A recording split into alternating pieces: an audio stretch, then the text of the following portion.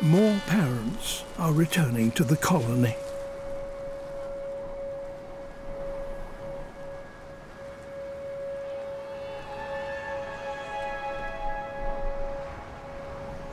Something is not right. The nest should not be empty.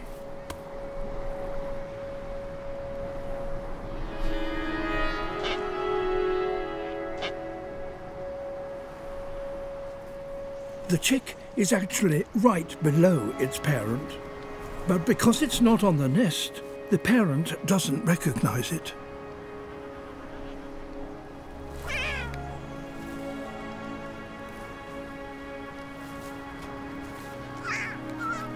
And doesn't help it.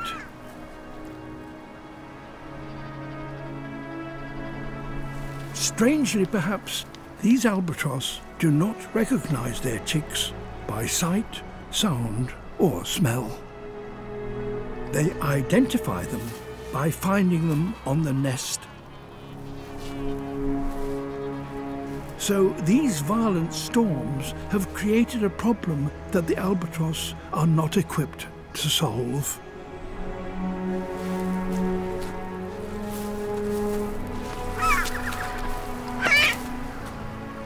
If it is to survive, the chick will have to get back on the nest by itself.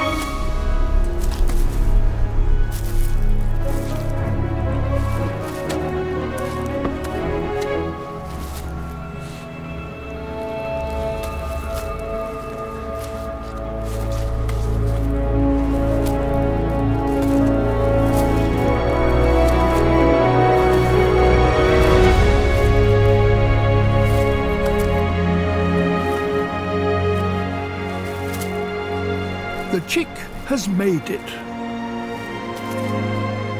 The bond is re-established immediately, and its parent once again provides the warmth that the chick so desperately needs.